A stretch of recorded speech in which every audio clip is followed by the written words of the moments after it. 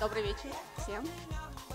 You're all welcome to this colorful evening. So relax and enjoy yourself.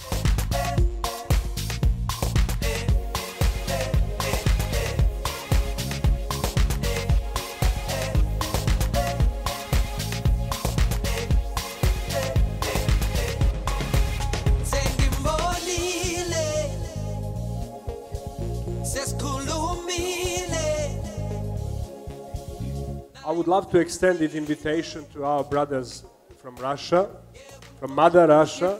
I would love to unite the wisdom of the Russian steppes and African world. I hope this is the beginning of our relationship in the future, and I invite you to enjoy tonight again.